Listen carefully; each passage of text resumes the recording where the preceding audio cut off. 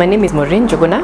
I work for Safaricom. I'm the HR lead for three businesses uh, business development, financial services, and enterprise business unit. The one thing I learned about the SMLP program is that it looks at leaders holistically. And when I say as a whole, it's because it has very targeted modules around how we lead as leaders, how we lead within teams, but also reminding yourself of who you are and how you show up when you're leading teams. Yeah, I totally enjoyed the fact that you have one module that is not locally based, it's based out of Singapore. And for me, the exposure into other cultures and being taught by uh, professionals who are not locally based also provides completely new insights for the program itself. SMLP has a way of en ingraining this culture of how you do projects and how you approach your process of doing a project. And for me, when I think of my role, there's some elements of it that requires to do some project-based work. And out of going through SMLP, I was able to do some two great change management programs.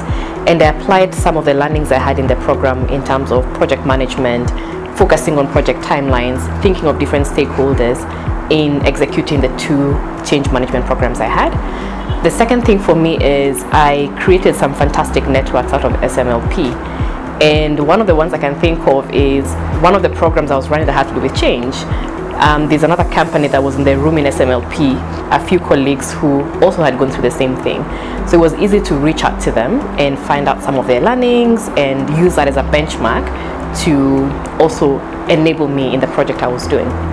The third thing for me is with the passion I have for coaching, I managed to get an opportunity to work with Strathmore. So I'm currently contracted as one of their adjacent coaches. And that came out of having gone through the program, having benefited from coaching, but also being a coach myself.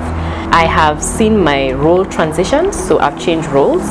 Um, in the two years, I moved from being a business partner for one of the organizations uh, within Safaricom and now I'm doing more commercial organization and I would attribute part of my growth as well from some of the learnings I had in that program.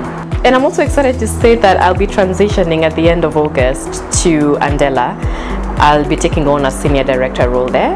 I'll be looking after um, the software developers and I'll be taking care of um, so far five countries and it's a role that's looking after the whole of Africa. So I'm excited about seeing my career transition and grow as well. When I think of the senior management program, leadership program, um, it's, it's very different from many programs. And it's because it's really purely targeted towards growing leaders.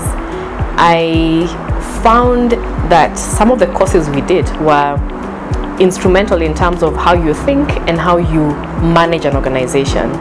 I would say for any leader who's looking for transition from being a people manager to being more leading teams, this would be a fantastic program for them.